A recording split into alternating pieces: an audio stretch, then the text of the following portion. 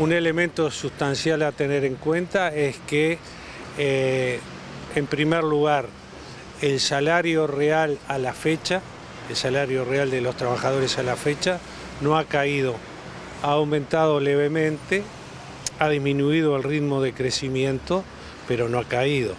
En segundo lugar, y felizmente, la presión inflacionaria viene disminuyendo y creemos que, de acuerdo a algunas informaciones que tenemos, en los próximos meses estaremos nuevamente en una inflación de un dígito.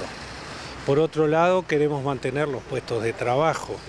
En ese sentido tenemos que llevar adelante entonces con mucho cuidado eh, las eventuales modificaciones que se puedan plantear, pero lo estaremos estudiando como lo hacemos siempre con seriedad.